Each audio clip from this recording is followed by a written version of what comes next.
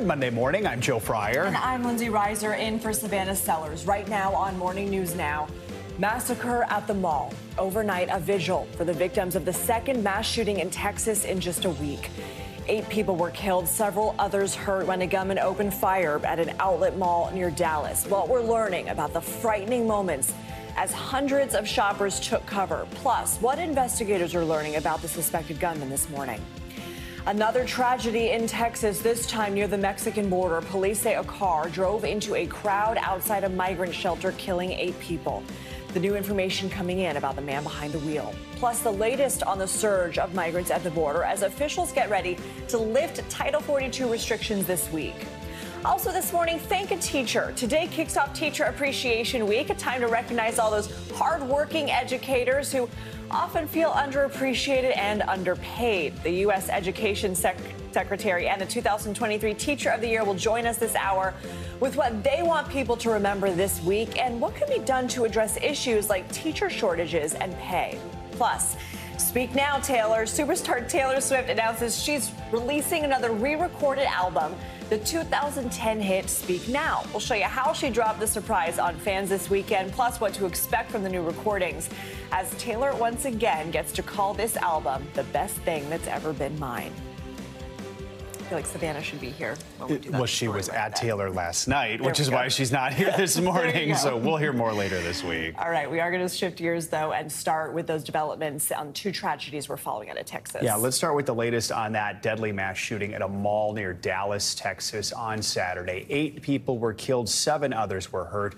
Police identified the gunman as 33 year old Mauricio Garcia. He was shot and killed by a police officer who was already at the mall on an unrelated call. Now, we do want to warn you some of the video you're about to see is difficult to watch. We are not going to show anyone being struck by gunfire. Now, police are reviewing this video very closely. It shows the moment the gunman jumped out of his car and opened fire on innocent shoppers. Investigators say he was armed with an assault style rifle and a handgun, and that he was wearing a tactical vest. They say he also had more weapons and ammunition in his car.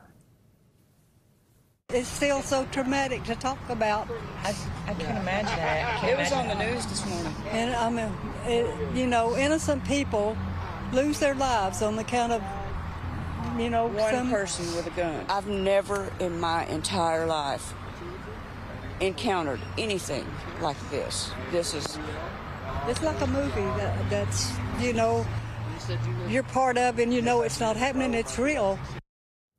For more on all this, we are joined by NBC News correspondent Priscilla Thompson, who is in Allen, Texas. Priscilla, good morning to you. I mean, this all happened very quickly. So explain how it all unfolded and what is the latest on the investigation.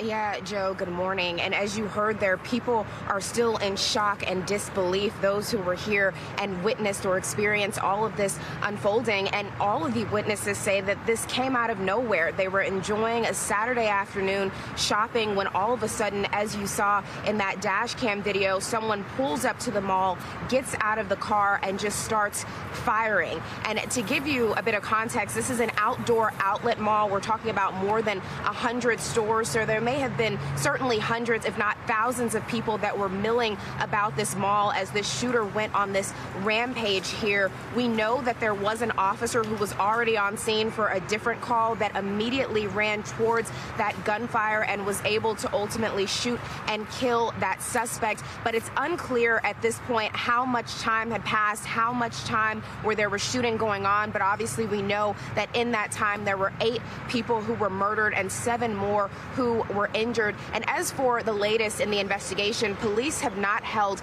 a briefing in more than 24 hours. They are revealing very little information in terms of the investigation and how all of this unfolded. Instead, right now, they are asking anyone with videos or who may have been witnesses to this to continue to come forward as they try to piece together a tick-tock of how all of this played out here on Saturday.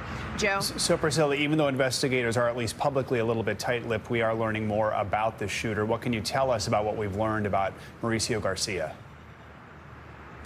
Yeah, so they have identified him as a 33 year old male, and senior law enforcement officials tell us that they are looking at investigating this crime as something that could have been racially or ethnically motivated. We know that senior law enforcement officials say they have seen hundreds of social media posts from this suspect that is espousing uh, neo Nazi uh, rhetoric and also white supremacist rhetoric. Officials say that he interacted with that type of content online, and they did search his family home uh, overnight on Saturday. We went out there and spoke to some neighbors to see what they knew of this suspect, if there were any red flags. I want to play a little bit of some of those conversations.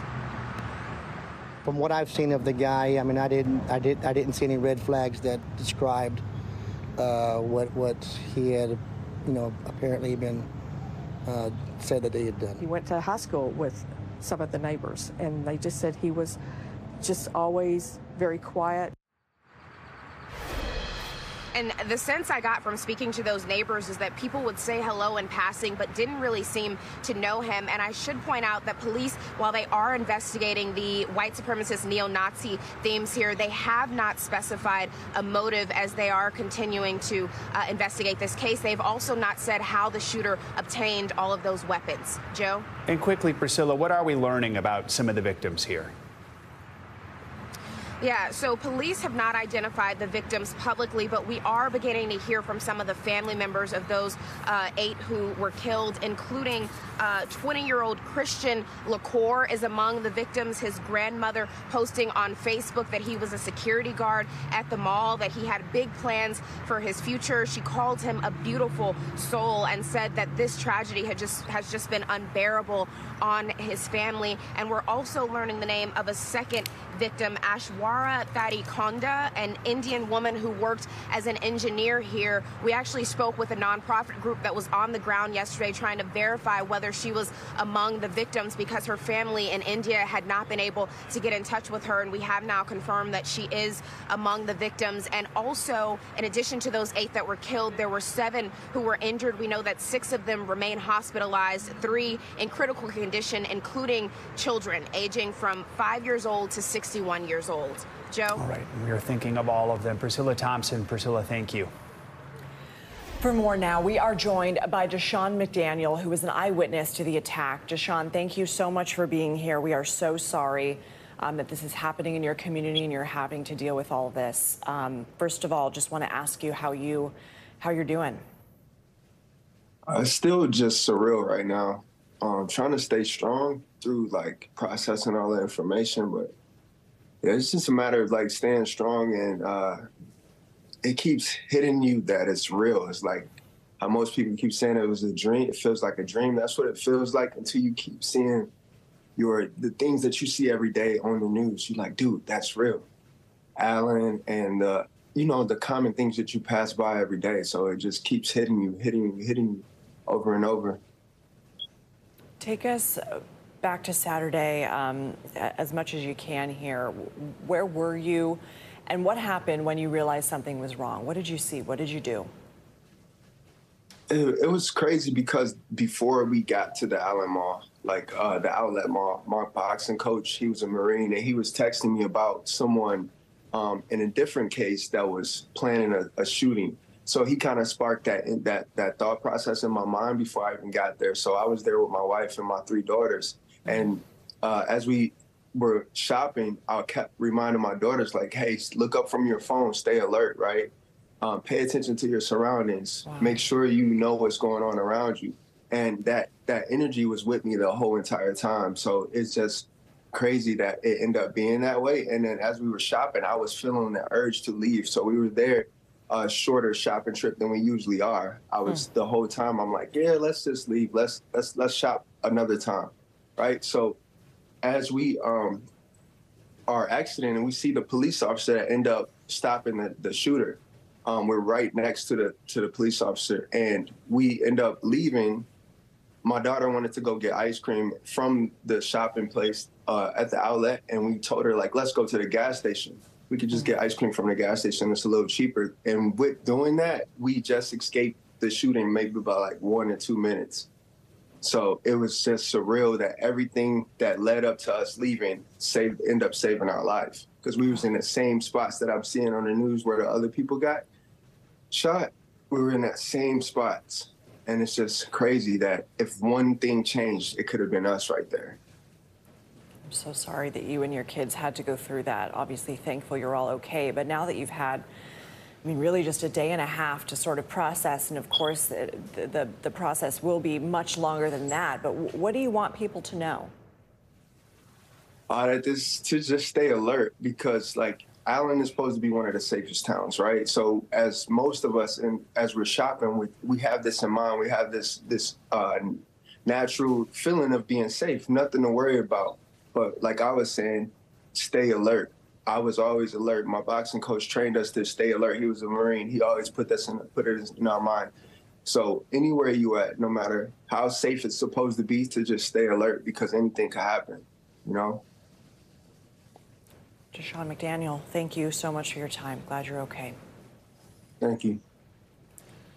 Now to the other tragedy out of Texas that we are following this morning. At least eight people were killed and nearly a dozen others were injured when a driver plowed into a bus stop on Sunday. It happened outside of a shelter for migrants in the border town of Brownsville. That town and many others have seen an influx of migrants ahead of the expected expiration of a COVID era border restriction, Title 42. NBC News correspondent Guad Venegas has more. The horrific aftermath on the streets of Brownsville, Texas, just miles from the southern border. After police say a man plowed his car into a group of pedestrians waiting at a bus stop. A gray Land Rover uh, disregarded a red light and ran over several individuals standing at a bus stop across the street from our local homeless shelter. The shelter is a partner of Catholic Charities. They were all from Venezuela. They were all young men that had already uh, uh, been there for a day or two and, and had contacted their families and had already bought their tickets to travel. And they were enthusiastic about uh, being here already in the United States and, and ready to go to meet their family.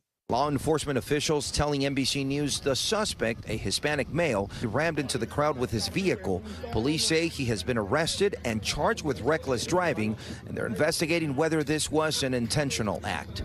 Just days earlier, Department of Homeland Security Secretary Alejandro Mayorkas announced a new temporary processing center nearby to help with the anticipated migrant surge in the area. Already, thousands are gathering at the southern border ahead of the Biden administration's lifting of Title 42 on Thursday, a COVID era policy that restricted the number of migrants entering the country. But the Biden administration's new immigration policies may be even stricter. None of that is stopping the migrants in hope of a better life.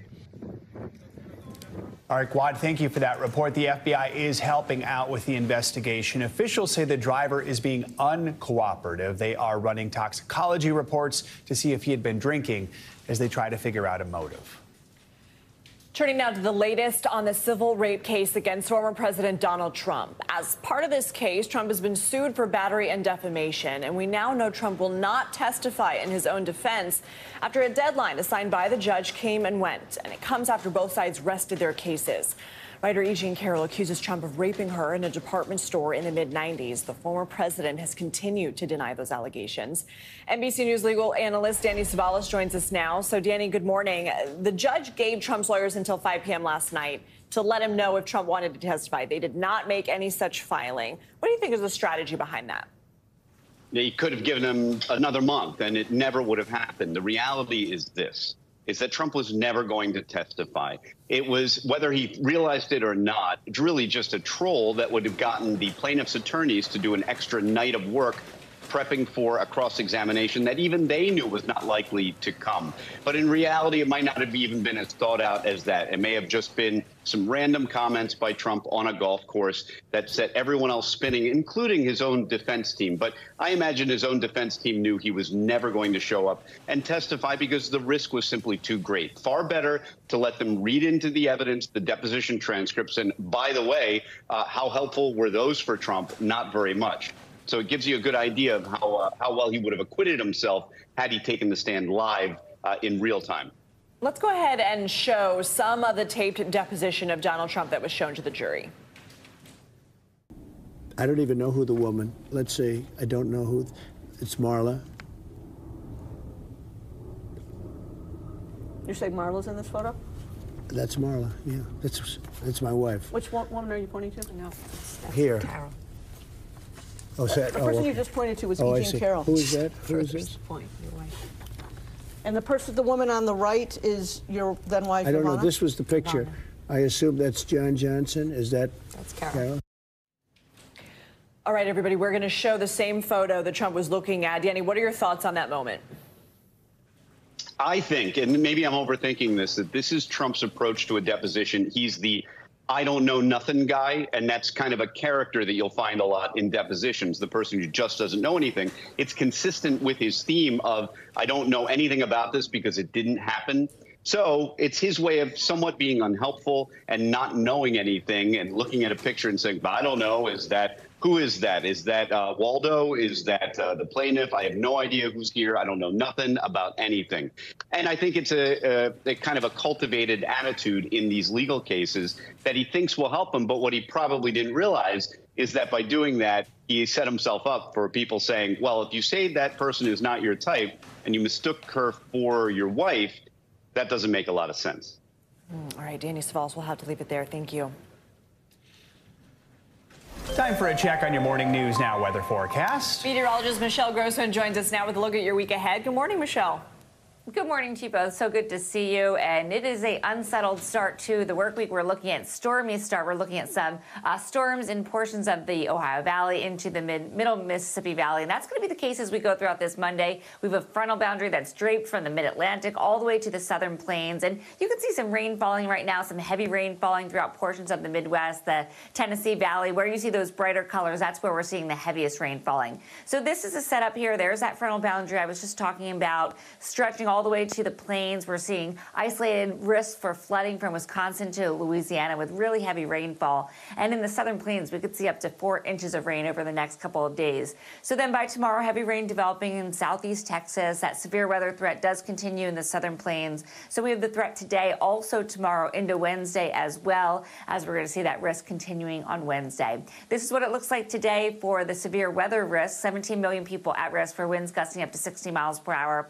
Could see some hail. It could be large, and also a few tornadoes are possible. It's kind of feeding off the moisture from the Gulf. It's really warm, so we're going to see that cold front interacting with that warm air, and that's going to spark the chance for those storms, especially where you see the yellow. So places like St. Louis, Indianapolis, Lexington, Paducah, even just north of Nashville, we could see some strong storms into the southern plains. That will be the case as well. And then we're looking at the chance for heavy rain. Notice in parts of Oklahoma into Texas, some really dark colors. That's where we're expecting heavy rain falling over the next few days. Dallas, you are uh, looking at the chance for some heavy rain as well as Houston down to Corpus Christi. So we do a, have a flooding, flood, flooding risk, excuse me, but we have a flash flooding risk as well. So where you see the blue, that's where we're expecting the highest amounts of rain falling and the chance for some flooding as well. Tuesday, the severe weather threat uh, impacts 5 million people, damaging hail, again, large hail, winds gusting over 60 miles per hour, a few tornadoes, and that heavy rain falling. And we could see hail even up to tennis ball size. We saw that yesterday in spots, and we could see that once again on Tuesday. The flash flood risk includes portions of the northern plains, the central plains, into parts of the southern plains. So, San Antonio, Houston, Laredo, you could see the risk for flash flooding. It's really warm too. We're looking at summer like air in parts of the southern plains, 90 degrees today in Little Rock. That's 11 degrees above normal for this time of year. San Angelo, near 100 degrees. And we're going to see this warm air moving to the east as we go throughout the next couple of days. Back to you both. All right, summer in May. Thank you, Michelle. Appreciate Yeah. it. Sure. All right, coming up, a lot of us can remember a teacher, maybe more than one, who had a really big impact on our lives. In honor of Teacher Appreciation Week, we're going to talk to the Secretary of Education and this year's Teacher of the Year, what they have to say about the challenges of staff shortages, changing curriculum, and burnout, plus their message to educators next.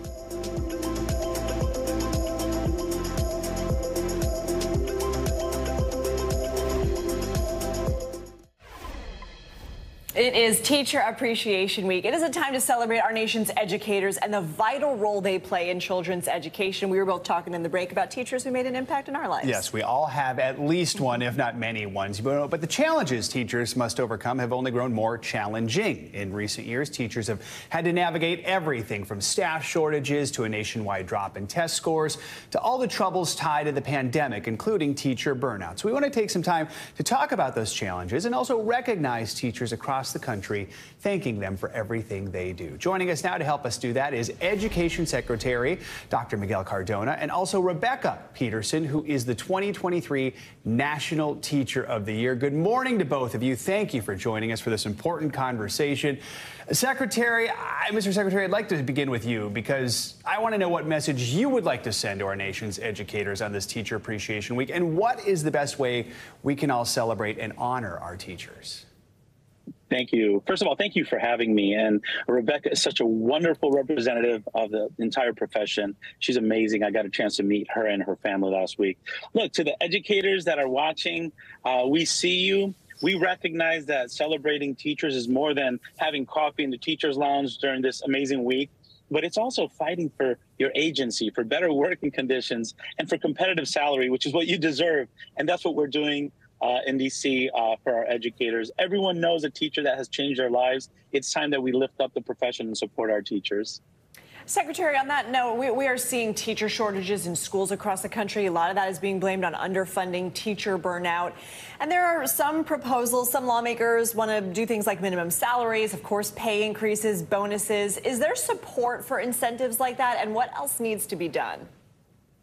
Yeah, there is support. You know, not enough support. Unfortunately, we're also uh, seeing uh, attacks on curriculum, attacks on the profession.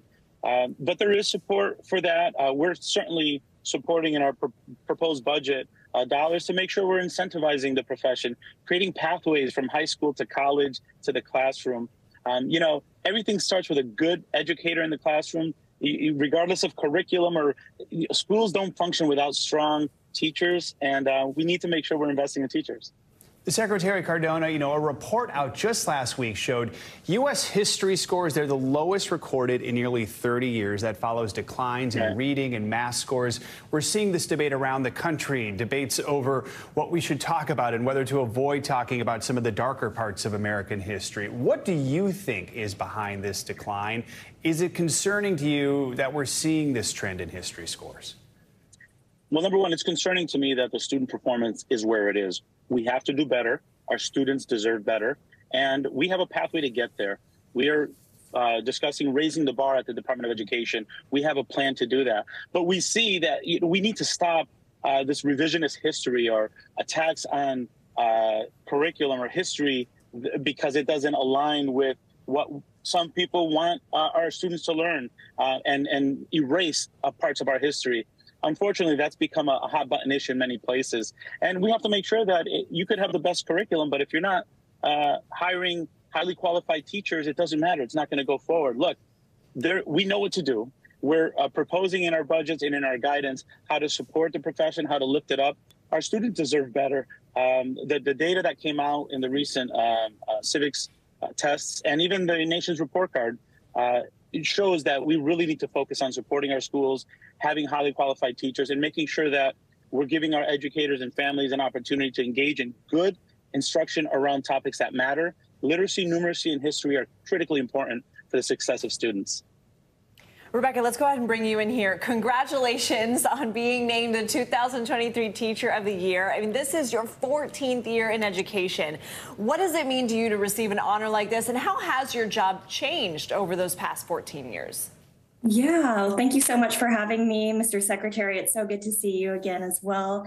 What a joy it is to represent this profoundly impactful and powerful profession that I, I just hold so dear.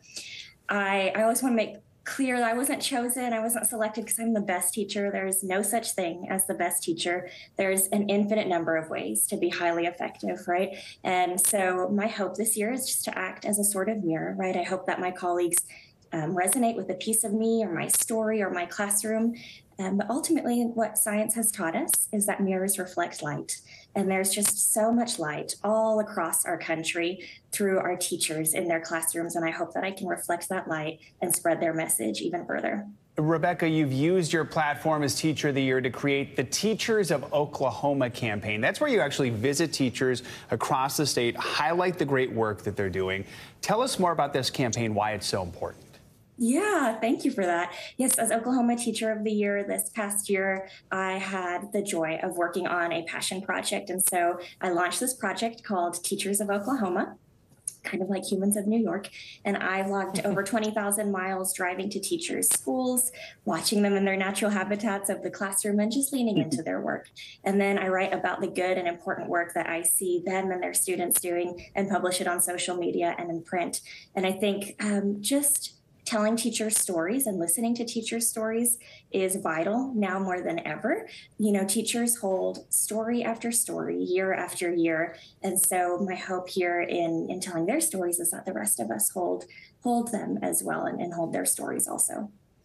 And Rebecka, you wrote an open letter to your fellow educators and you talk about the challenges that teachers are facing post-pandemic. What are some of those challenges?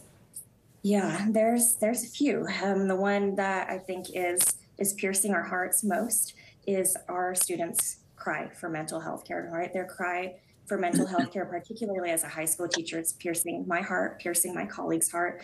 Um, we know we have research showing that our students' brains have literally changed post pandemic, right? And so that's very sobering, very sobering news. So now more than ever, I think it's incumbent upon us to not just have best practices for our academic contents, but also best practices for teaching the whole child, for teaching social and emotional learning as well. The research is sobering, but the science is also really clear. And the good news is that connection is how we heal. So now more than ever, we have to teach connection. What a great message. Rebecka Peterson, Teacher of the Year, and Education Secretary Dr. Miguel Cardona, thank you for joining us for this important conversation on Teacher Appreciation Week. Thanks so much for having us. Man, teachers do a lot. They do. All right, turning now to international news, we are going to start with some serious flooding in the Democratic Republic of Congo. NBC News foreign correspondent Claudio Lavanga joins us now from Rome with that and other world headlines. Claudio, good morning. Joe Lindsey, good morning. Yes, according to local officials, the death toll uh, from floods in Congo rose to at least 401 since rivers broke their banks last week due to torrential rain, sweeping away entire villages in the South Kivu province. Another official said thousands of people remain missing, while the search and rescue operation is hampered by the damage caused by the floods to main roads. Now let's go to Canada, where throughout the weekend, tens of wildfires had forced thousands of people to evacuate. Officials in Alberta said more than 100 fires broke out since Saturday in the western part of the country. Now on Sunday, some cooler temperatures and a bit of rain brought some relief, but officials warned the blazes could grow bigger in the next days due to high winds. And finally, China's state media reported that an experimental Chinese spacecraft returned to Earth on Monday after staying in orbit 276 days. The unmanned spacecraft was launched in August 2022, but its mission has largely remained under wraps. State media said the tests mark an important breakthrough in China's research into reusable spacecraft technology that will make future space missions more convenient and inexpensive, guys. All right, Claudio, thank you so much. Appreciate it. Coming up, a new way to help the homeless community. We are going to show you how the simple message of love your neighbor is helping people get off the streets in one major city and how it could help other cities combat the growing homelessness crisis. Stay with us.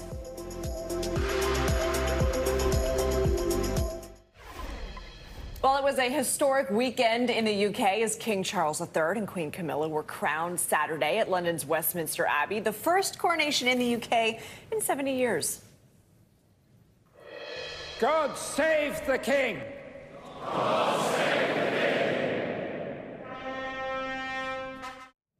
The momentous occasion marked with shouts of God Save the King, as you heard there, as the Archbishop of Canterbury placed the crown on the King's head before the royal procession went back to Buckingham Palace. And joining us right now to discuss is author of New Royals and royal editor at Vanity Fair, Katie Nichol. Katie, good morning. Thanks for being with us. I mean, for the most dramatic part of the day, the anointing, King Charles was actually hidden from view. So walk us through what happened, some of the moments we didn't see, and, and what were some of the moments we did see that stood out for you? Well, I think that moment that you just mentioned was was such an important moment. That anointing with the holy oil from Jerusalem, which is steeped in well, such an ancient tradition. It goes back to the Old Testament. You had this amazing combination of a sort of medieval ceremony with all the touches of a of a modern king, which give us an indication of the king he he's going to want to be. But the images that you're showing now are of this beautiful screen that was erected around the king as he was anointed. Now we weren't sure whether we were going to see this moment if you compare that to 1953, the last coronation, the Queen was beneath a canopy. You could actually see much more of the Queen being anointed than you could of Charles. But he wanted this moment to be an absolutely sacred moment between him and God. And I have to say, I think that was the right thing to do. I think it was incredibly powerful. There were so many wonderful images um, and have been so many amazing images of this whole weekend um, to have seen the regalia up so close and, and, and the sparkling crowns and the scepter and the orb. I mean, it, was, well, it was majesty. That's the one word I think we can use to sum up the entire weekend. And, um, when I reflect on the Prince of Wales's words at last night's concert at Windsor, which was another feast for the eyes, another sort of piece of wonderful theatre, he said, coronations are a declaration of our hopes for the future. That was what the late Queen said. And I think they're, they're very apt words because as we look at these historic images, this is our first king and queen since 1937. Um, it is a moment in history. 20 million people tuned in to watch this ceremony, this pageant, a military procession, the likes of which, well, I've been doing this job for 20 years. I can tell you I've never seen a military procession on this scale. Mm. And the rain was torrential, biblical, of epic proportions, but then it was on the Queen's coronation day too. Hopefully, it's a good omen for the King. So, Katie, of course, this majestic day was all about King Charles, but Another royal really once again stole the show. We're talking about five year old Prince Louis. Talk to us about that. Well, Prince Louis, you're absolutely right. He did steal the show. Um, in fact, he's out today on his first official engagement. He's out with the scouts, with his mother, his father, and, and his brother and sister, and they are they're currently renovating a scout shed um, over in Slough. So quite a big thing for him to be doing his first engagement. But these pictures are of him at his first official state occasion, and it doesn't get any bigger than a coronation. In fact, the next coronation that Louis is going to see, of course, will be his father's. Mm. Um, I, there was there was a bit of a last minute question mark over whether Louis was even going to attend. There was a plan in place that he'd arrive at the service, be part of that procession, and then be quietly squirreled off, which is, I think, what most people with a five year old would probably do, because anyone with a small child knows that you're taking a big risk having them at a two hour ceremony. He was ferried out and for a little while, but he was there for the end for the national anthem. And what a special thing for that little prince to witness. Katie, you mentioned the concert and what Prince William said there. How did the concert go down with the Brits? Well, you know what? It's funny because I think we were all expecting it to be a bit of a disappointment because that's what we Brits seem to do. We sort of we start off with low expectations, and you might remember there were reports that Ed Sheeran had turned it down, Elton John had turned it down. It was all going to be a bit of a disaster. Well, you know what? It wasn't. It was absolutely breathtaking. We've never seen Windsor Castle lit up the way it was. This, I think, was one of the biggest stages ever built. Katy Perry in that phenomenal Westwood gown. What a wonderful tribute to the late Vivienne Westwood. I mean, you know, it was sensational. And I spoke to someone close to the King this morning who had been with him actually last night. There was a pre party before the concert and an after party. And I said, How is His Majesty feeling after this epic weekend? He said, Elated exhausted and absolutely knackered. That's a good word right there. I feel that just watching all the festivities. So imagine actually taking part and in it. And you're not 75. Exactly. Right. Exactly. Katie Nicholl, thanks so much. The race for the Republican presidential nomination is heating up. While polling shows former President Trump with a healthy lead, rival candidates like former Arkansas Governor Asa Hutchinson are planning their strategies to try and campaign against Trump. Hutchinson sat down with our very own Chuck Todd for this week's Meet the Press. Well, hello there, Joe and Lindsey. This week on Meet the Press, I had Republican presidential candidate, former governor of Arkansas, Asa Hutchinson, join me. And he uh, joined to discuss his run for the 2024 nomination. This is what he had to say about trying to go head to head with former President Donald Trump. He was responsible for a lot of the failure and growth that we expected and wins in a number of different states. And so his numbers were down. Since then, uh, his numbers have gone up because uh, he's played the victim. People believe he's been picked on because of some uh, prosecutions. Uh, I joke in some ways that his campaign manager is Alvin Bragg in New York City. Mm. Uh, that indictment caused those numbers to go up because they don't believe they're fair. This will settle out over time. And so let's judge it, uh, understanding that we're right. early in the campaign. We've got a lot of a lot of room to grow. Uh, it's funny you bring up the legal issues, the, the seditious conspiracy convictions of the Proud Boys. Um, that's a that was a tall uh, task for justice to prove that case. They were able to prove it. Um, as a, you have experience dealing uh, in the Justice Department as a former U.S. attorney, were you surprised they were successful? And do you think this is a, a dire, uh, a dire uh, outcome for the former president? Well, they are difficult cases to make. Uh, it's a high bar, and uh, they were successful in it. And I think it really reflects uh, the seriousness of the offense of January 6th in undermining our democracy and how seriously the jury considers this, that found them guilty of that. Whenever you look at the impact on the future, uh, Donald Trump has a moral responsibility for what happened on January 6th. You can see my full interview and a lot more at meetthepress.com. You can also get a lot more Meet the Press right here on NBC News Now every single weekday at 4 p.m. Make sure to check it out. Chuck Todd, thank you. A nonprofit group in Texas is looking to create a new path for people who are experiencing homelessness. NBC News correspondent Harry Smith takes a closer look. In this otherwise unremarkable area of Austin, Texas, there is a community that very well might be an answer, even the answer, to a problem plaguing cities coast to coast. And we have a phrase that housing alone will never solve homelessness, but community will community. It's about community. It's about people being lonely, man.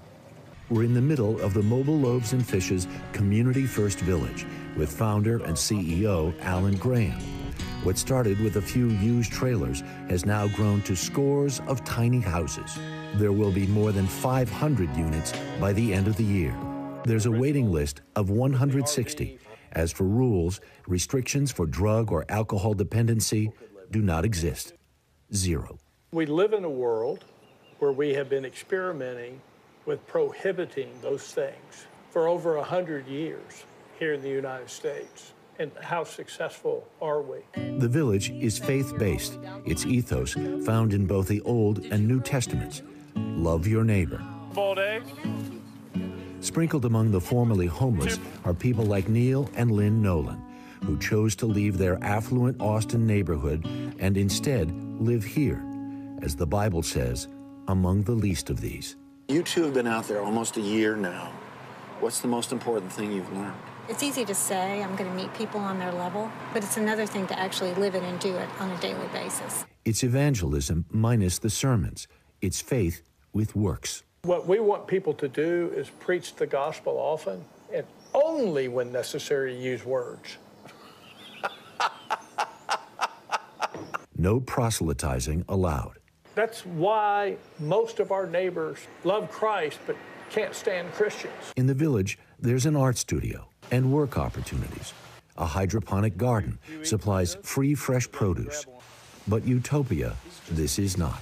The two essential human needs are the need to be fully and wholly loved and fully and wholly known. When you bring all that uh, to the table, it creates an environment of uh, welcoming. But Harry, it has a side salad of tension. It's life. It's real life with all the beauty and the marinade of the dysfunction all put into that one little tasty gumbo, man. JR figures he may have been on the street for 20 years, but no more. And you'll never find another place that cares about people like this. If this place didn't exist, would you still be on the street? If this place would, didn't exist, I'd be dead. That's just the truth. We sat with JR on his porch, listening to him play the blues, mournful notes that belied a hymn of gratitude. Our thanks to Harry Smith for that report. And according to Mobile Loaves and Fishes, more than 300 people are now living in the community. Coming up, more and more companies are already using AI for jobs once held by humans. We'll show you just how AI is taking over the workforce why some experts are worried about where things are headed. You're watching Morning News Now.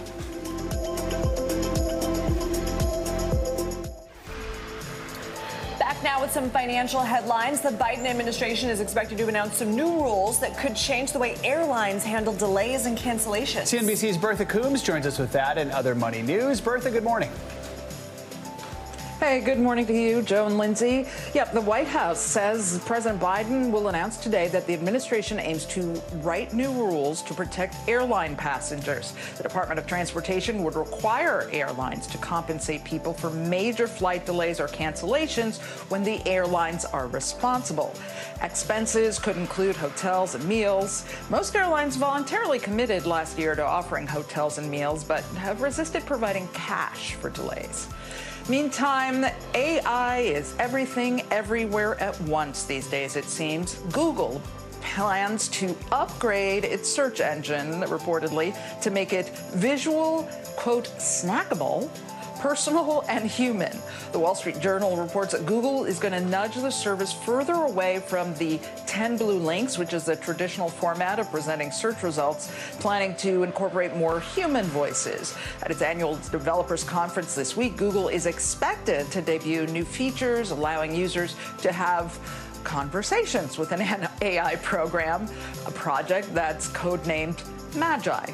Meantime, Carl's Jr. and Hardee's are rolling out artificial intelligence in the drive through lane. CKE Restaurants, the parent company of the fast food chains, is partnering with several startups to automate voice ordering at participating locations nationwide. The move is aimed at boosting accuracy, speed, and revenue and helping restaurants manage staffing shortages. Carl's Jr.'s and Hardee's have about 2,800 locations in 44 states. And, and apparently, in the places where they've beta tested this, people like it. It's, it's much more efficient. My worry is if it hooks up with my phone and says, you know, Bertha, your LDL is getting a little high. Do you really Right. want to be having that cheeseburger this week? Might help you that's, out. That's my real concern. Might- well, that's why It AI might help is me, snackable. right. Yeah, and that's good Right? Exactly. Right. Bertha, thank you. Let's keep this conversation going. Silicon Valley is facing a major shakeup after a pioneer of artificial intelligence, Geoffrey Hinton, stepped down from Google. He says the programs may be headed down a dark path, but not everybody in tech agrees with him. NBC News technology correspondent Jake Ward has the details. You've seen the movies. Humans build robots. What am I? Robots rebel. Open the pod bay doors, Hal. It all goes bad. This mission is too important for me to allow you to jeopardize it. And already, in these early days of AI chatbots, we've seen some pretty weird behavior from tech like ChatGPT. AI doesn't have to be sentient to be scary. The first release of Microsoft's AI powered chatbot tried to convince a New York Times reporter to leave his wife. I said, you know, I'm married, and it said, well, you're married, but you're not happy. And you're not happy because you're not with me. And now, an early AI pioneer has retired from Google and is speaking out about it. I wanted to be able to talk about what I thought were some looming problems. It's what comes after ChatGPT that has Geoffrey Hinton worried. ChatGPT knows much more than any one person. It doesn't yet know it very deeply. It's not yet very good at reasoning, but that'll change. There's a small chance that it could get smarter than us in the next five years or so. There's a much larger chance it can get smarter than us in the next 20 years. Already, companies like IBM are announcing plans to slow hiring for positions that AI could replace. And intelligence officials have been sounding the alarm about AI dangers, like supercharging misinformation campaigns. Democracies with open information environments are the most vulnerable to them. Some argue the worry is overblown. Of course, powerful technologies have risks. The alarmism, the part that I'm much more skeptical of, is AI taking over the world, doomsday. And frankly, there's no data to support that. But even as tech leaders like Google's former CEO praise the possibilities, getting better materials, solving climate change, managing our energy systems better. He says companies need to get better about seeing the threats early. If left to our own devices, our industry is going to maximize revenue because they're good business people, right? And I'm proud to be one of those people. But the fact of the matter is, there should be some limits on what can be done. 15 years ago, I was a huge proponent of social media in all forms. And I did not see that it could be misused. I just didn't see it. And while Hinton says there are enormous benefits to the technology he spent a career building, the risks are too large to ignore. That's why I'm speaking out publicly. I want to get a lot more people thinking about how we're going to keep control of this stuff.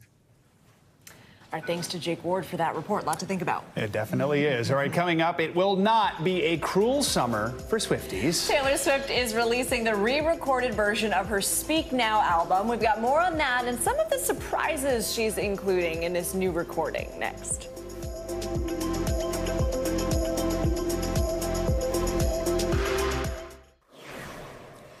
The MTV Movie and TV Awards took place yesterday, but not how organizers originally planned. It was the first award show to take place since the start of the writers' strike, with Drew Barrymore pulling out of hosting in solidarity with WGA members. So the ceremony was not broadcast live, but there were still some popular winners. Best movie went to the horror classic, calling it a classic, I guess, Scream 6. Actor Tom Cruise received a popcorn statuette for best performance in Top Gun Maverick. The Last of Us won Best Show, and its star, Pedro Pascal, also won Best Hero. Meanwhile, Jennifer Coolidge won the Most Frightened Performance Award for her role in White Lotus because all those gays were after her. she was fighting for her she life. was frightened. all right. She is wowing arenas on her Eras tour and has an incredible 10 albums in the top 100 of the Billboard 200 albums chart. Now Taylor Swift fans have even more reason to celebrate. And after weeks of speculation and some cryptic clues scattered across social media, the star announced she would be re releasing another one of her classic albums, 2010 Speak Now. Take a look at how she unveiled the surprise. I thought I would just show you. So if you would direct your attention to the back big screen we have.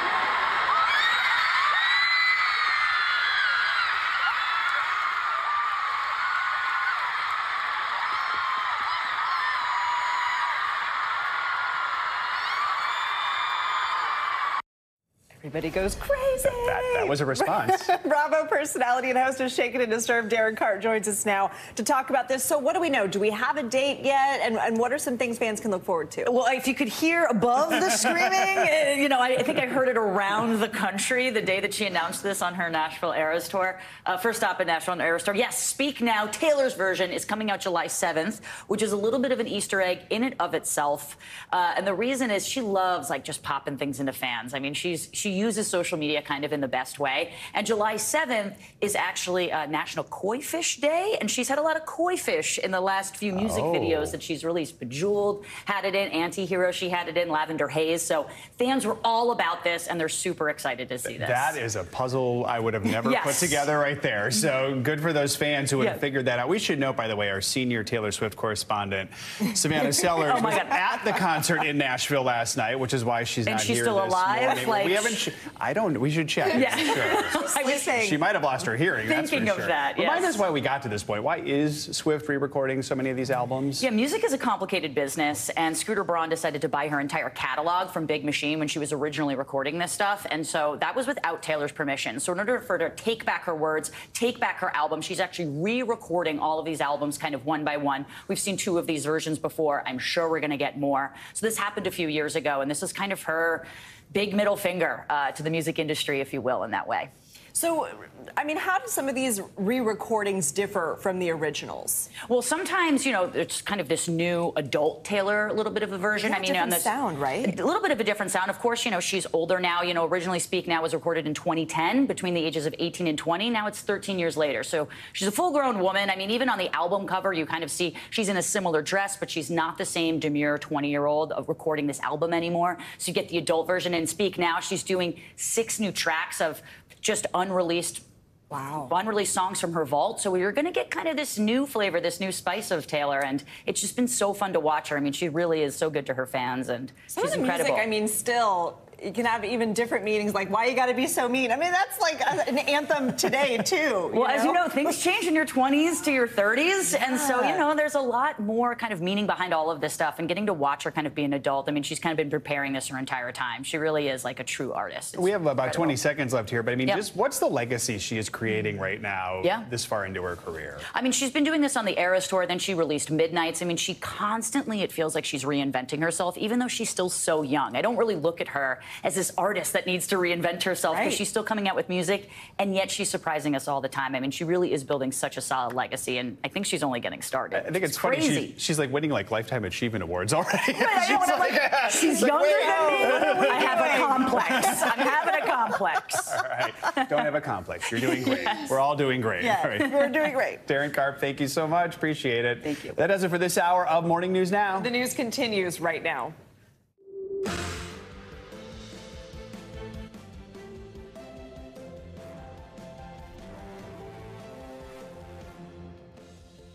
Good morning, everybody. I'm Lindsey Reiser in for Savannah Sellers. Good to have you with us on this Monday. I'm Joe Fryer. Right now on Morning News Now, a broken community. Overnight, this emotional vigil taking place in North Texas. They were remembering the eight lives lost in that state's second mass shooting in a little more than a week, this time at a mall just outside of Dallas. The lone gunman was killed by police. We are learning chilling new information about him. Plus, we're going to hear from an eyewitness who was there. Also in Texas this morning, tragedy on the border. Police say eight people, some of them migrants from Venezuela, were killed, several more injured when a car plowed into them in the border city of Brownsville. They were enthusiastic about uh, being here already in the United States and, and they're ready to go to meet their family. Investigators now trying to uncover a mode of a tragedy that comes with a surge of migrants expected this week as a controversial COVID era border policy is set to be lifted. Also, this morning, Flight for Your Right. New rules from the Biden administration aimed at holding airlines accountable for those lengthy delays and maddening cancellations. What's going to change and how it could affect your next trip? And it was a lavish weekend of pomp and pageantry in Britain as King Charles III officially became king. We've got all the highlights, the controversies, and what's next for the fractured royal family as His Majesty takes the throne. Number of people up early on Saturday morning. I DVR'd it. You don't want to watch it with the world? I didn't want to watch it with the world. I, I knew what was going to happen. But we will recap it for you, whatever you missed, or if you want to relive those moments. We're going to begin this hour with new developments in the investigation into that mass shooting in Texas. Police have identified a single gunman who will be charged with opening, rather, was killed after opening fire at a Dallas area outlet mall, killing eight people and injuring seven others. The youngest victim, just five years old. And this morning, we're learning more about the alleged gunman and what officials say may have led him to commit this horrible act. NBC News correspondent Morgan Chesky is in Allen, Texas, with the latest. Yeah, here in Allen, this massive complex remains very much an active crime scene with law enforcement keeping it locked down as a memorial grows for those eight lives lost. And this mall has been a shopping destination for families all across North Texas. Uh, many of those families since scrambling for cover when that gunman opened fire Saturday afternoon. And we do want to warn you, some of the video you're about to see is disturbing. Overnight, a community marred by gun violence coming together to mourn. A vigil honoring the eight lives lost in what is now the second deadliest mass shooting this year. Gunshots at the outlet mall. The frantic scene unfolding in Allen, Texas, just north of Dallas. Police say 33 year old Mauricio Garcia opened fire on Saturday at this crowded outlet mall.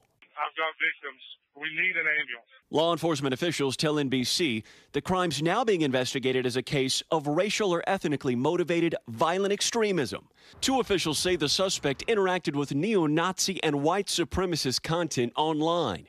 One official telling NBC authorities found a patch with a right wing acronym on his chest.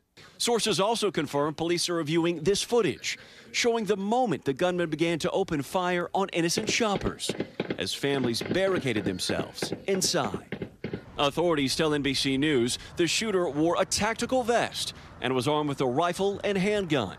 More weapons and ammunition were later found inside his car. I heard pow, pow, pow, shooting, and everybody ran. The suspect fatally shot by an officer who police say was already there for an unrelated call. everybody. I got. Amid the chaos, acts of heroism. Some people were huddled inside an H&M store. One of them called his father, former police officer Steven Spainhouer, who raced to the scene. He immediately began performing first aid on victims, but for some, it was too late. The young child was underneath one of the victims, okay, laying on the ground. And their parent? They were on the ground. They were dead. The father forced to wait agonizing minutes as officers led hundreds of shoppers out of the mall before he was finally reunited with his son. The former officer agreeing with so many others that something needs to change. This is not a Democrat thing. It's not a Republican thing. It's an American problem.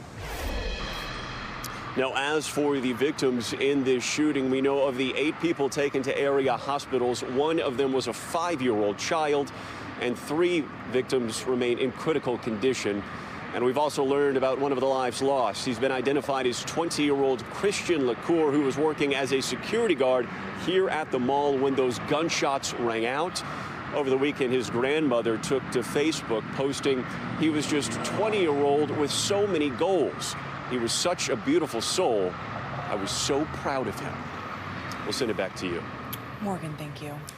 For more now, we are joined by Freddie Spainhouer, who was a witness to that attack, whose father you just heard from in Morgan's report. Freddie, thank you for being with us. Glad to see that you're okay. Let, us take us back to Saturday. As Morgan mentioned, you were barricaded inside the H&M store break room. What is it you were doing when you first heard the gunfire, and what happened next? Well, um, I was taking my 15 minute break um, when um, the shots rang out, and I was about to go on the floor to do my job after my break. Um, and at first, I thought the shelves fell because we get like heavy loads every now and then. And after that, there was complete silence. And my coworker and I just looked at each other like, what's going on? And then there were more uh, loud muffles that started to take place. And that's when we knew, okay, something ain't right. And that's when we uh, turned right around the corner from the break room. And that's when I noticed that all, all the managers and the customers had started rushing in over into the back towards the stock room. You called your father, who is a former police officer. What did he tell you to do? Um, I called my dad, um, like right like three minutes after the shots rang out. Um, he just told me to get to safety, which already already was at this point, and we were trying to barricade the doors as quickly as possible with uh, different boxes and totes that we could find. And Dad said that he was uh, on his way.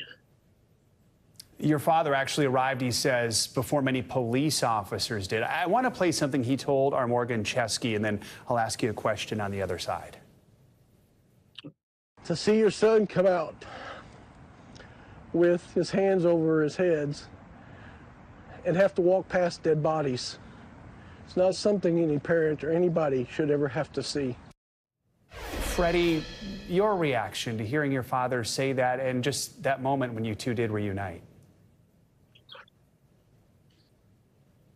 it was difficult um, seeing the carnage and the aftermath. Um, and I do admit, I mean, um, when I was in high school and everything, I mean, I've seen a lot of graphic footage before over in high school and everything, ranging from Live Leak to even like some of the footage of t- September 11th. But to see something like this in real life is just heartbreaking. And it's like this is something totally different that i never seen before. And um, i was outside of the outlet mall for um, quite a bit until my dad called me to tell me where he was and that's when i walked over and we really reunited reunited and um, mom dad and i we uh, didn't let go from hugging each other for about a few minutes. It it was really um, we we just basically held held each other together. Which we all completely understand. Freddie, Grateful that you're okay, grateful for everything that your father did to help so many people in that moment. We wish you well. I appreciate it. Thank you. There was another tragedy in Texas this weekend. An SUV plowed into a group of people outside a migrant shelter in the border town of Brownsville, Texas. At least eight people were killed, nearly a dozen hurt. While police are still investigating why this happened, the incident occurred just days ahead of the lifting of Title 42, the COVID border restriction, and that's prompted a new wave of migrants trying to cross the border. NBC News national correspondent Gabe Gutierrez is in Brownsville with the latest. Gabe, good morning. Good morning. As you mentioned, overnight the death toll here rose from seven to eight, and law enforcement officials now tell NBC News they're looking into whether this driver may have plowed his SUV into this crowd intentionally or whether it was an accident. And we should also warn you that some of the video of the crash and its aftermath is disturbing.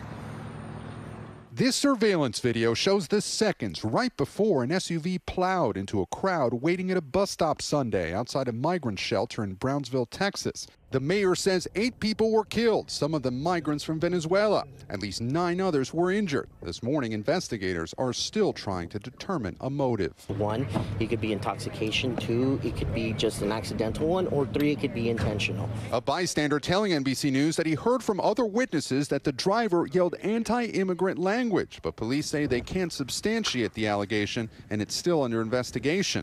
Law enforcement officials tell NBC News the driver is a Hispanic male who is not cooperating with investigators. He's been arrested and charged with reckless driving, but more charges could be pending.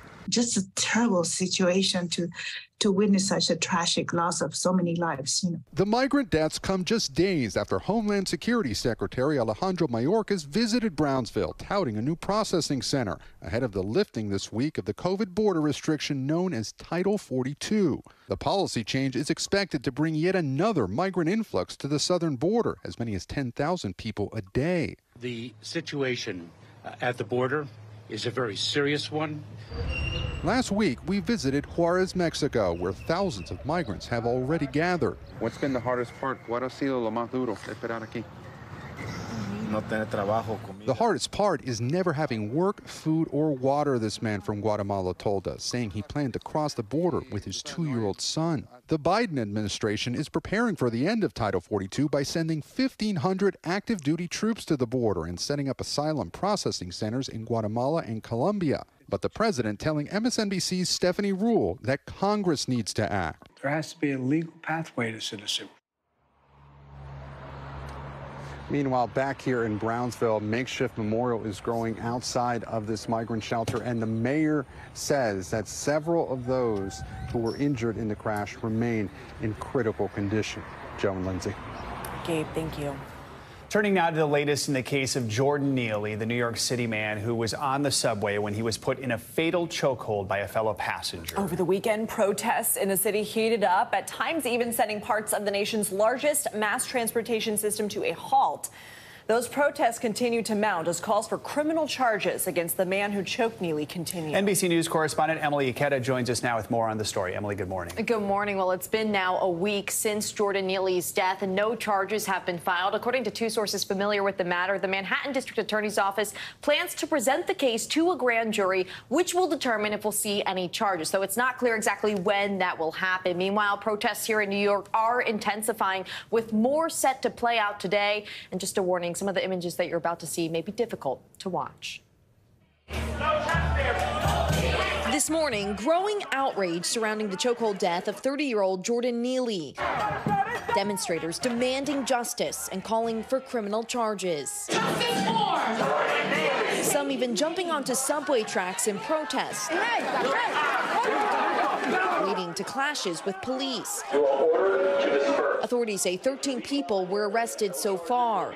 It comes as we're learning more about what happened on that deadly train ride when Neely was placed in a headlock by another passenger for at least several minutes. That passenger, now identified as 24 year old Daniel Penny, a college student and Marine veteran.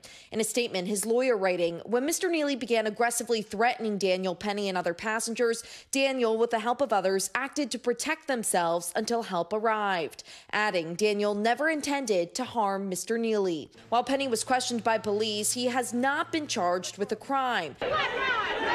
But calls for his arrest are intensifying. We will try our hardest to make sure that he's held accountable. A source telling WNBC's Jonathan Dienst that before help arrived, NYPD dispatchers received five 911 calls, including several people reporting a man making threats on board. Neely, who police say was arrested more than 40 times, was homeless and known to be struggling with mental illness since his mother's murder in 2007. Still, his family attorney says he was a talented street performer who loved to dance and make other people happy. He had demons. And we all know people who are on the brink of going through something major, and that's where he was. But he had a life that he was living. And this morning, Jordan's family put out a new statement saying, in part, Daniel Penny's press release is not an apology nor an expression of regret.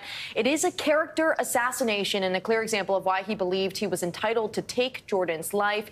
The investigation is ongoing. The other riders you saw in the video have not been identified. Meanwhile, the NYPD says they're still looking for six more people involved in Saturday's protest in that subway station. Something to watch. Definitely. All right, Emily, thank you so much. Thanks, guys. Today, the Biden administration is expected to announce new rules for airlines in an effort to boost flyer rights. In the case of, quote, any controllable cancellations or significant delays, airlines could now be held accountable to address any expenses or inconveniences experienced by passengers. NBC News correspondent Tom Costello is at Reagan National Airport. Joins us now to break this down. I mean, that controllable sounds a little vague. Any any expenses yeah. that they incur sounds a little vague. What can people expect?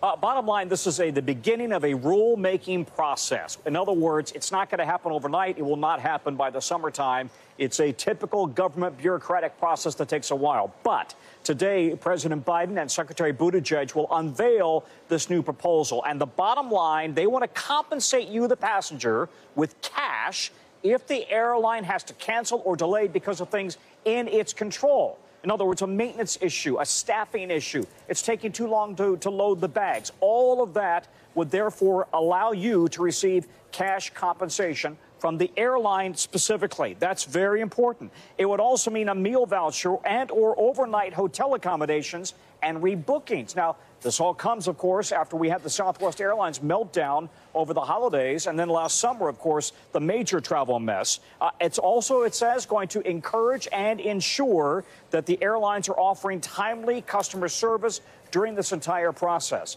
Uh, this is all coming, we should tell you, at a time when the airlines are under pressure going into the summers summer holiday rather, not to repeat what happened last summer, not to repeat what happened in Southwest over the Christmas holidays. But again, these new passenger regulations, which are built largely on what the Europeans have already built into their system, they would not take effect probably for months at the earliest. Lindsey? So, for right now, when it comes to these rules, since that's not going to uh, be in place for a little while, what can people do if they have questions yep. about what their rights are right now? So flightrights.gov, flightrights.gov is the DOT's website where they really detail out what your rights are, but also which airlines are doing what. So, for example, right now, there are 10 of the largest airlines are guaranteeing meals and free rebookings on the same airline. Uh, nine right now are guaranteeing hotel accommodations. No airline right now is guaranteeing co cash compensation in cases of preventable delays or cancellation. So that would all be a part of this new DOT regulation. I mentioned that it was built on the European experience. Let me just tell you what happened to me. Recently, I was flying from Oslo to Copenhagen back to the States. My flight from Oslo to Copenhagen was delayed, not much, 45 minutes. I still made my connection, but because my flight was delayed by 45 minutes, the government required that I was offered cash compensation. That's what the European law requires. I personally thought that that was kind of crazy. I mean, I still made my connection, right? No big deal. I didn't request the money, but that's kind of what the hmm. Biden administration is proposing here. All right. We'll see how it all unfolds. Tom, thanks. Time for a check on your morning news now weather for the week ahead. Meteorologist Michelle Grossman joins us now. Good morning, Michelle.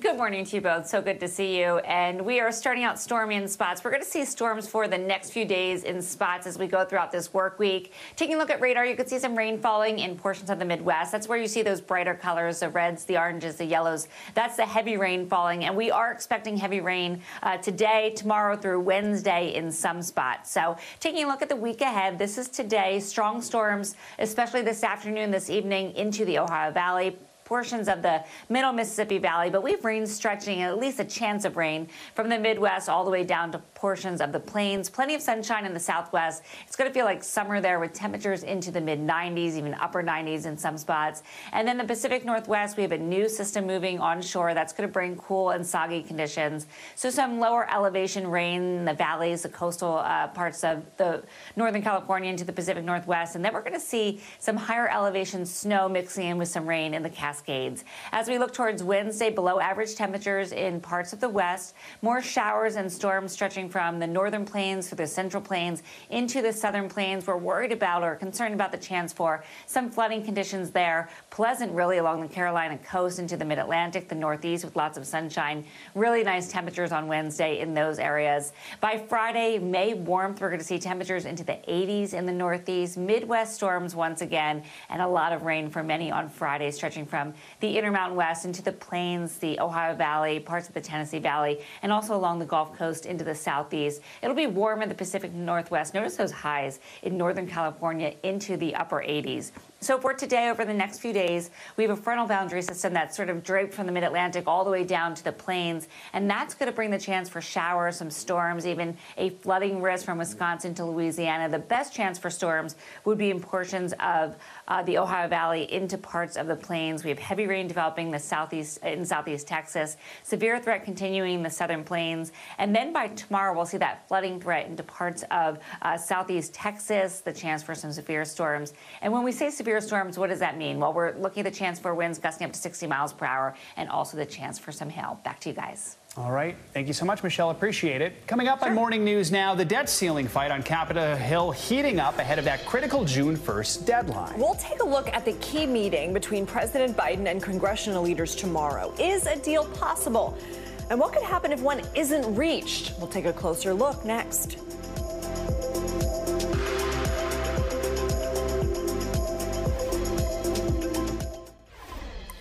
We're back, and the clock is ticking for Congress to raise the debt ceiling before June 1st. That's the date when Treasury Secretary Janet Yellen warned the U.S. could breach the debt ceiling.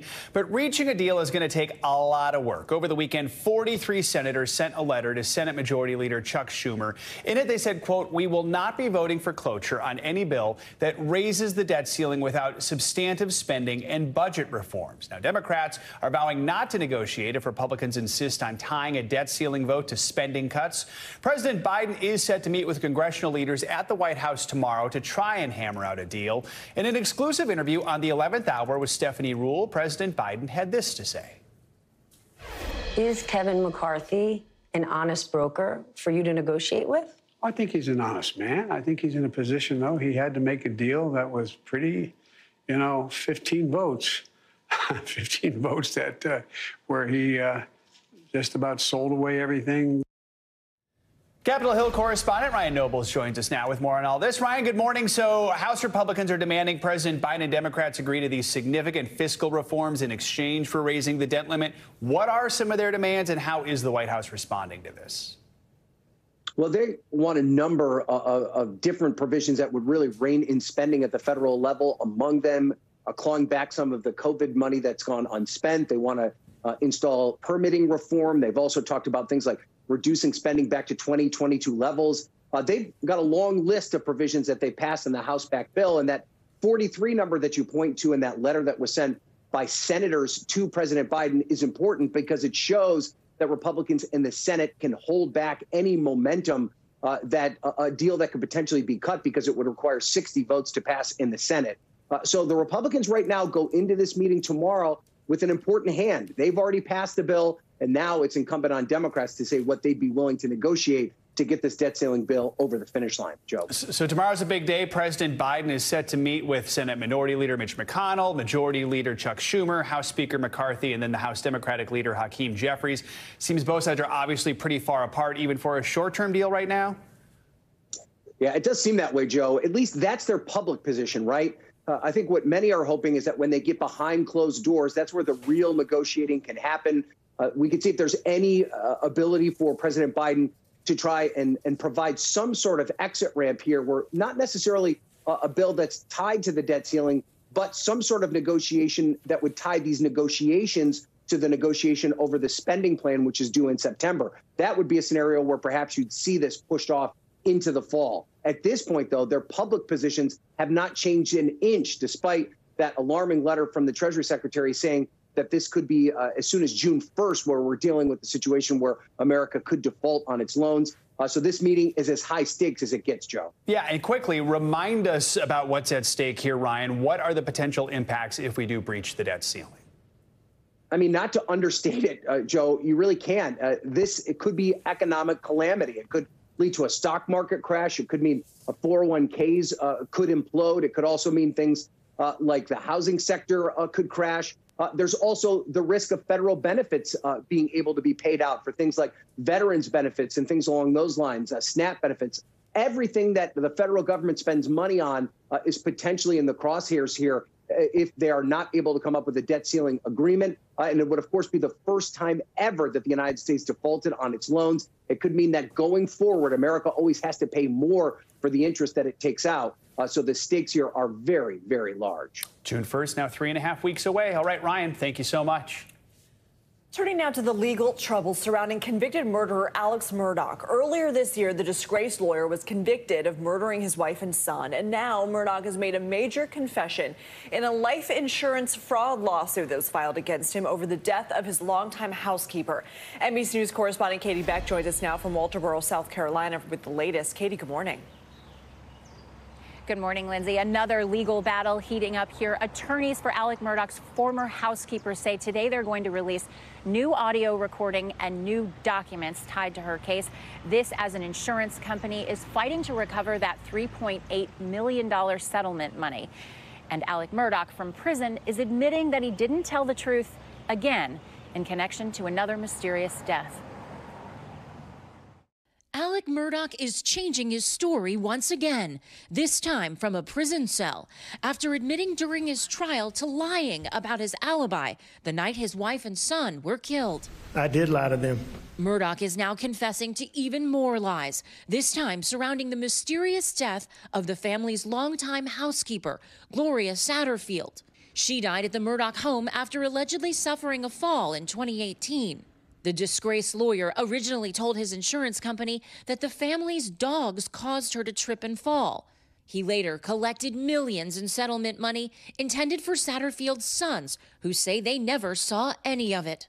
Did you ever get one cent from Alex Murdaugh when he was still, uh, before all of this happened? No. Back in 2021, Satterfield's son Tony told Craig Alex Murdaugh promised he would help him and his brother get an insurance settlement for the accident. Did you believe him? Yeah, of course. Well, wouldn't I? He said, I want to make sure the boys are taken care of because he loved Gloria that much. Now, a legal storm is brewing over Murdaugh's latest confession. In a new statement made in response to a recent lawsuit filed by an insurance company looking to recover the 3.8 million it paid Murdaugh for Satterfield's death, Murdaugh now claims he fabricated his initial story, writing, "No dogs were involved in Satterfield's death," adding he invented the situation to force his insurers to make a settlement payment. Murdaugh also says the Satterfield family did actually receive the fraudulent funds. Lawyers for the Satterfields family deny they got money from the insurance company, saying the new claims lack credibility, much like Alex Murdaugh. The question is Is Alex to be believed? Alex, at this point in time, will say anything to uh, try to preserve his own skin. Police have reopened the investigation into Satterfield's death. We reached out to Murdaugh's attorney, who had no comment about the lawsuit or why Alex Murdaugh is once again changing his story from behind bars. Murdaugh is now serving two life sentences for the murders of his wife and son, but he still faces nearly 100 other charges ranging from money laundering to stealing from his clients. Murdaugh's attorney says they have filed that notice to appeal and they intend to do so in coming months. Lindsey? All right, Katie, thank you so much.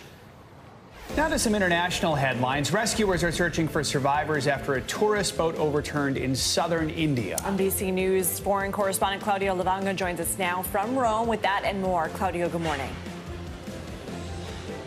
Lindsay, Joe, good morning. Yes, at least 22 people have so far died after a tourist boat capsized in India on Sunday night. Now, officials say the double-decker tourist boat was carrying 50 people, or double its capacity when it overturned, and blame overcrowding for the incident. At least four people were taken to hospital and are in critical condition, and the death toll is expected to rise as the number of missing passengers is still unknown. Survivors told local media that many on board were not wearing life life jackets. Let's go to Ukraine, where an official appointed by Russia said about uh, said that almost 1,700 people were evacuated from areas near the nuclear plant of Zaporizhia on Sunday. Now, the announcement comes a day after the head of the International Atomic Energy Agency said the situation around the plant has become increasingly unpredictable and potentially dangerous. Ukraine is expected to start soon a counteroffensive to retake Russian-held territory, including in the region region around the nuclear plant. And finally, winter has come early to Australia. The southeast of the country has been battered by a cold front that brought high winds, snow and hail that could last until the middle of this week. Temperatures along the east coast dropped below zero, bringing some snow even in the capital Canberra, as shown by videos shared on social media. In Sydney, flights were delayed temporarily on Sunday due to strong winds, guys. All right, beginning to look a lot like winter there. Thank you, Claudio. Appreciate it. Coming up, there's been an increase in anti LGBTQ bills in Republican led state legislatures lately. And those bills, along with the rhetoric surrounding them, are having a major impact on groups like drag performers. When we come back, we're going to hear from some of those performers speaking out just ahead of Pride Month. That's next.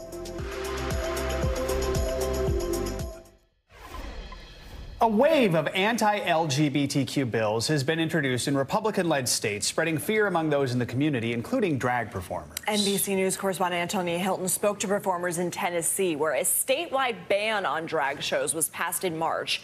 Here's just some of what she discussed for the season premiere of Meet the Press Reports. As a transgender woman raised in Tennessee, she spent years hiding who she was. It wasn't until she turned 18 and stepped out onto her first drag show stage that she realized it didn't have to be that way. And I didn't have the words for it. It was one of the few times I felt powerful, I felt seen, I felt mm-hmm. right in my skin. I can do anything I need to do when I'm in drag. Wait, are, are all the children out of the building? Are there any children? Look around. If you're a child, raise your hand. Not emotionally, I mean like legally for Story and her friend who performs under the name Harry Scary. It's begun to feel like their very existence is a political act. The agenda is to just exist and to not and to feel valid. The agenda is to be able to go to the bathroom without having to worry about being punched in the face. State Senate Majority Leader Jack Johnson, a Republican from Franklin, Tennessee, sponsored the new restrictive legislation. The law targets adult oriented performances that are harmful to minors. It doesn't say exactly how performances will be determined to be harmful or sexual. Have you been to drag shows? Have not. But I've seen videos. I've seen videos of, of drag. Well, and I, I, guess I should say, have I been to places where a man was dressed as a woman and, and performing or singing, and maybe they were, were dressed, it was a Halloween party and they were dressed up as Dolly Parton? Of course I have. Are you trying to send a signal? Of course that not. some types of communities, some types of people aren't welcome here in Tennessee? The only signal I'm trying to send is that you shouldn't be doing sexually graphic, you shouldn't be simulating sex acts in front of children. And NBC's Antonia Hilton joins us now with a closer look at her reports. So walk us through, because I think there's still some confusion over these bills and the impact they're having, especially in Tennessee right now, which is sort of the first and others are looking at this, right? That's right. So this is the first law that's been passed of its kind, but it might not be the only. In about 17 states, very similar bills are under consideration right now.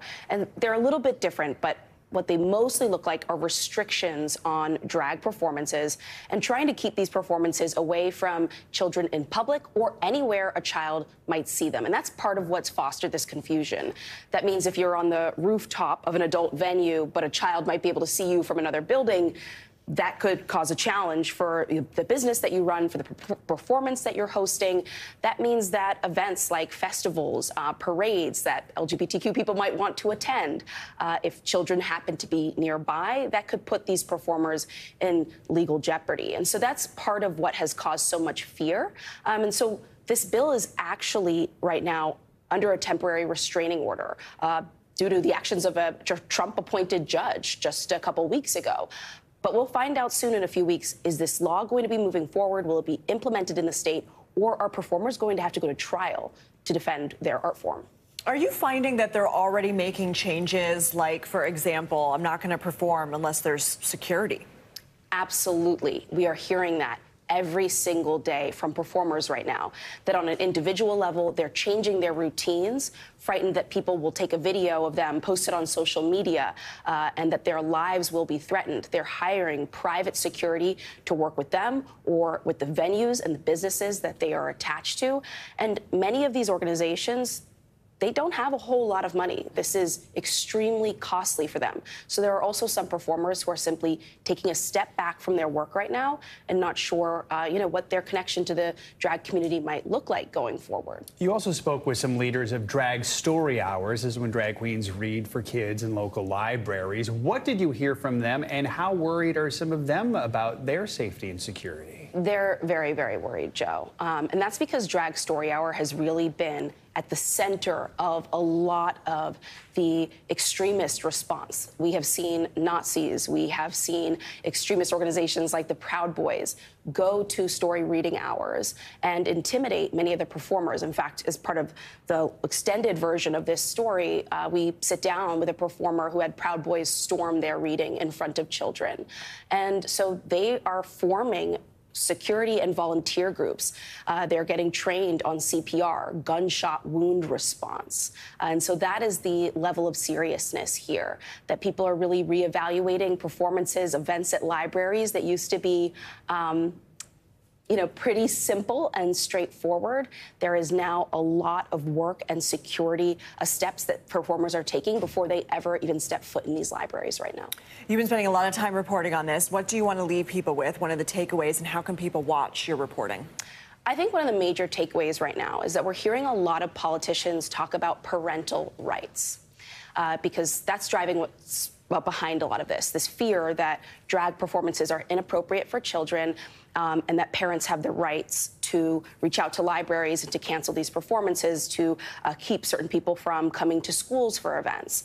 Um, and I think it's important to listen to those parents' voices, but also remember that there are parents of LGBTQ children parents who are LGBTQ, and uh, they have other opinions on these matters. And when you talk about parental rights, you have to remember all parents have a seat at the table, and we've tried to do that in this story. Because they're worried their rights are being infringed upon to be able to talk about their That's lives. what we're hearing. All right, Antonia, thank you so much. And to reiterate, you can stream the full episode of Meet the Press Reports Anti-Drag Movement anytime on the Peacock app and YouTube. Antonia, thank you as always for your reporting.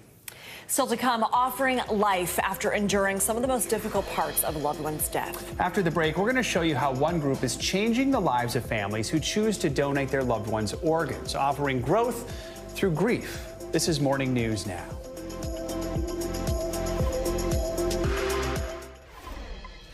Researchers are taking a closer look at the benefits of grief support, a service provided to those who lose a loved one. And for one family, that additional help was crucial when deciding whether to go through the organ donation process.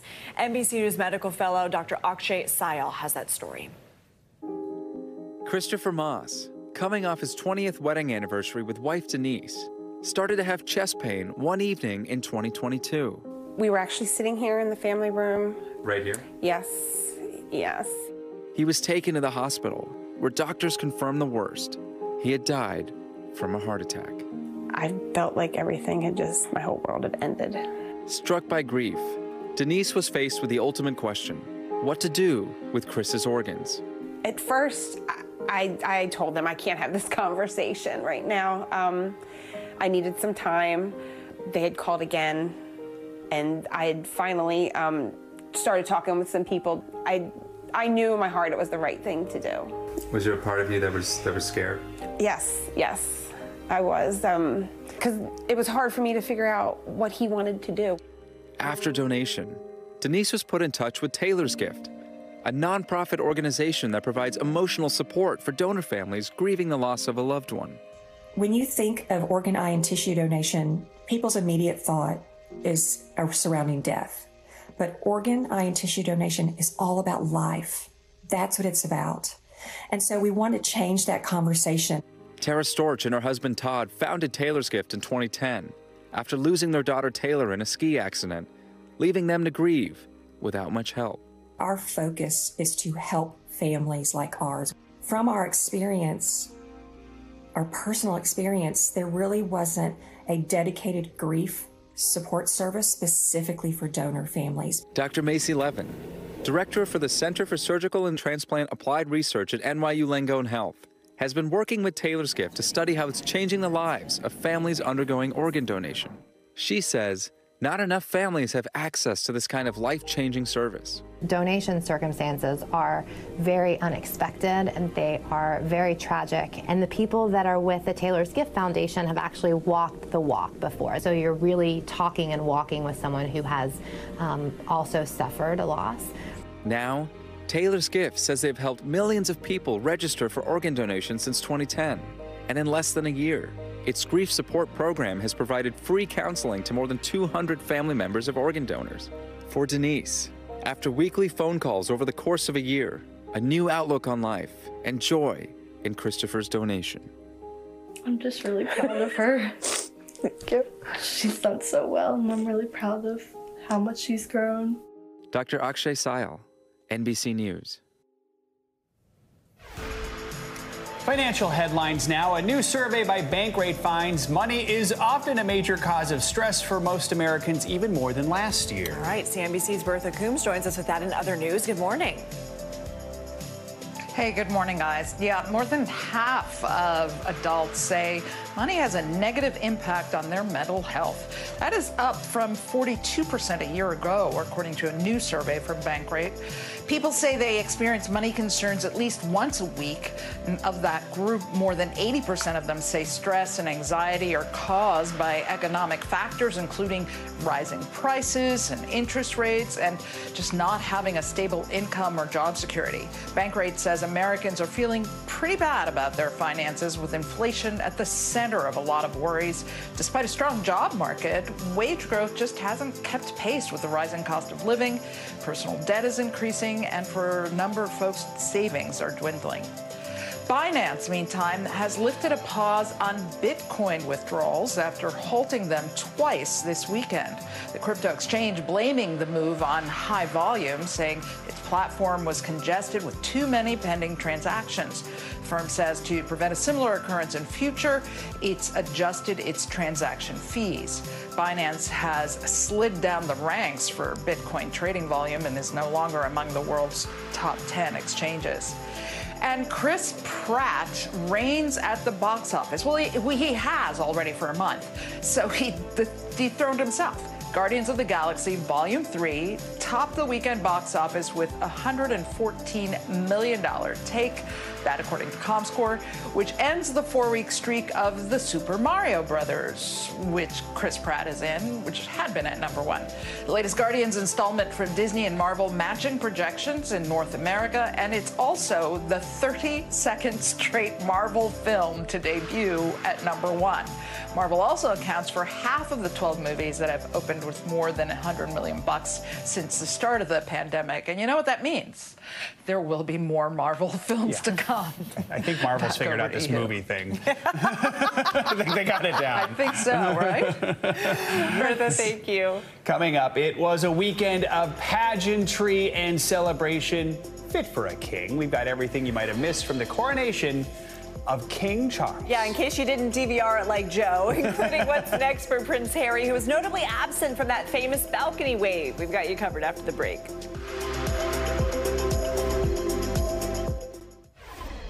It was a weekend of parties over in the UK as the country celebrated the coronation of King Charles and Queen Camilla. NBC News foreign correspondent Molly Hunter takes us through the most memorable moments.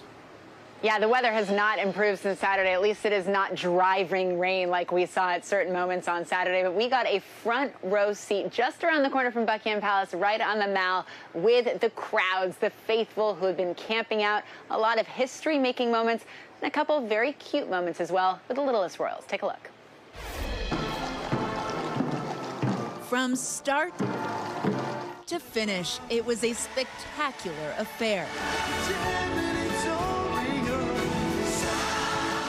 Kind of pageantry the Brits do so well in the kind of weather the Brits know so well. Through the driving rain, King Charles and Queen Camilla arriving at Westminster Abbey, their pages of honor, including nine year old Prince George, doing the heavy lifting. The Waleses, all stunning, Kate and Charlotte in matching Alexander McQueen, and five year old Prince Louis with a big yawn caught on camera. Prince Harry arriving at the Abbey with cousins Eugenie and Beatrice, smiling, a quick wave to his aunt, Princess Anne. The crowning moments all went to plan. God save the king! And outside, braving the elements, the tens of thousands on the Mall singing along to God Save the King.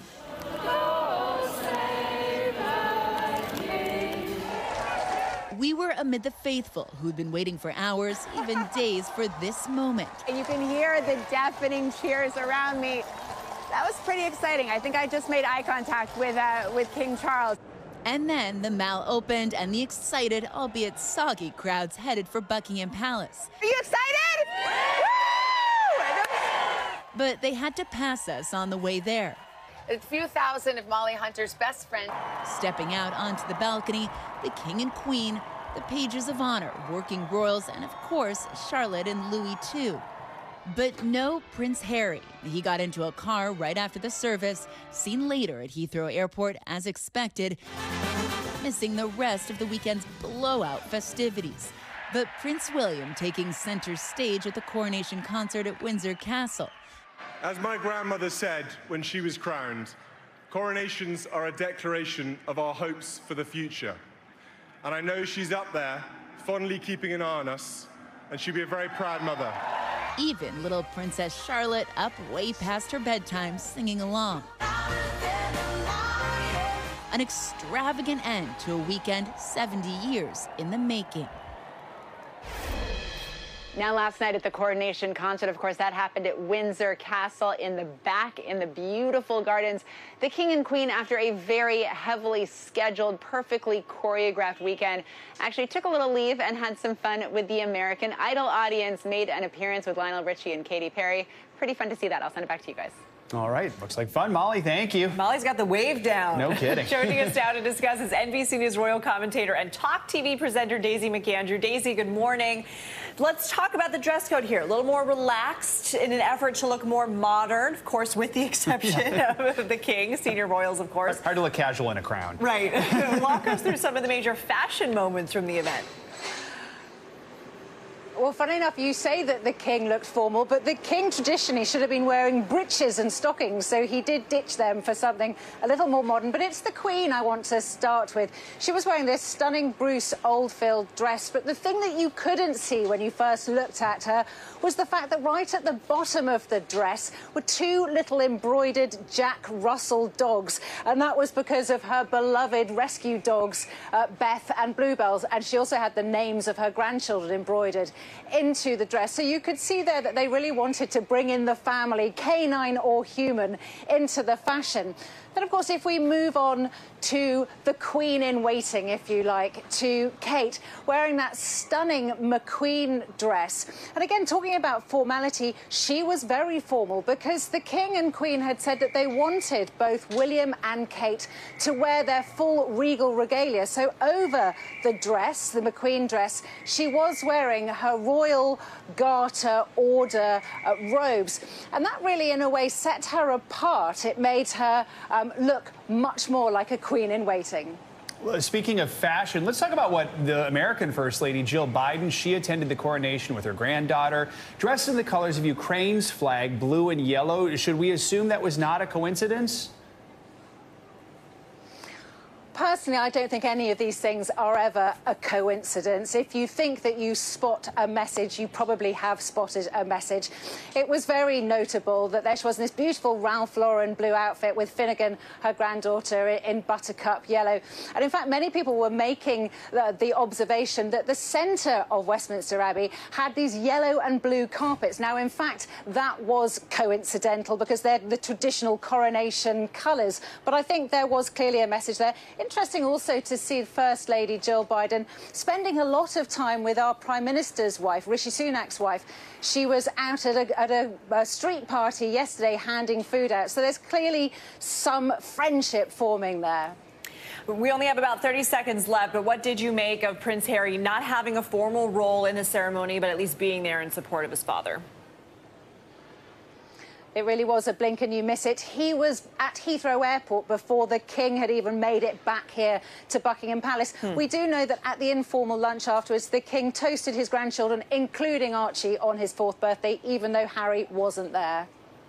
All right, Daisy McAndrew, we're seeing some uh, little chats that Harry's having, you know, in that third row there with some of his family members. But um, folks were keeping a close eye on every little move throughout, even though there wasn't a lot to, to take in. Exactly. Daisy, All right. thank you. And that's going to do it for this hour of morning news now. The news continues right now.